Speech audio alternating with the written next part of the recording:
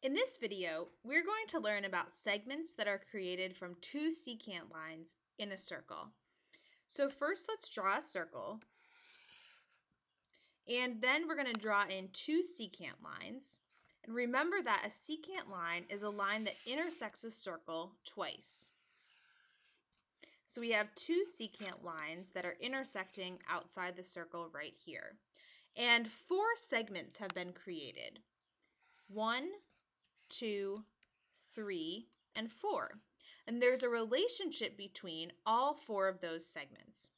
So if I label the segments A, B, C, and D, the relationship is the length of A times the full length here of A plus B will be the same length as sort of the corresponding situation in the other secant line, that the length of C will equal the full length of C plus D.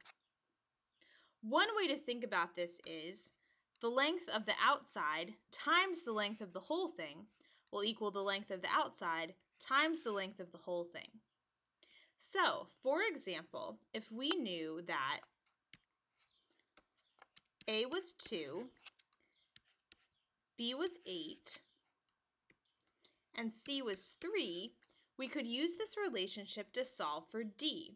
So we would plug everything into our equation, and we'd know that 2, the outside length, times 10, which is the whole thing, A plus B, 8 plus 2, equals 3, the outside length, times the whole thing, which would be 3 plus D. So to solve this, we'll multiply 2 times 10 and get 20, and then distribute our 3 to have 9 plus 3d. And then we can just continue to solve this. 11 equals 3d. So d equals 11 thirds. So if you knew any three of these segments, you could use this relationship here in order to solve for the fourth segment. So it's important to have at least a basic understanding of why this formula works. So we're going to look at this picture again and again label in our sides with A, B, C, and D. But this time I'm going to add in two extra segments in order to create two triangles that are sort of overlapping in some parts. Okay, so these two triangles are similar, and we can show that by looking for congruent angles. First of all, what triangles am I talking about? I'm talking about this triangle and this triangle. Okay, so the first thing you should notice is that both triangles share this angle. So that's one angle that the triangles have that's congruent because it's the same angle in each. Now another angle that they have that's congruent is this angle with this angle.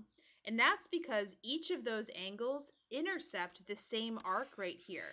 They're both inscribed angles of that arc, so they have to be congruent.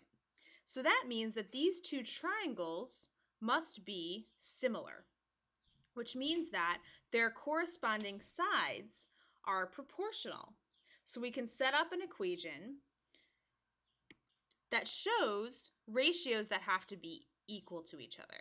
So if we look at the green triangle, we know that side A divided by side C plus D, so that's this full side right here, would have to be the same ratio as in the yellow triangle C, which is that outside part that's corresponding to side A, over the full side of A plus B.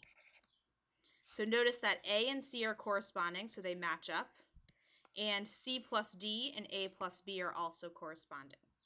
Now, if we rewrite this equation by cross multiplying, we'll get back to our formula from up there that's highlighted in green. So if we cross multiply, we get A times A plus B equals C times C plus D, which is exactly the same formula as before. So again, it's good to have at least a little bit of an understanding for where this formula comes from and also be able to apply it. Where it comes from is similar triangles and the fact that similar triangles produce proportional equations.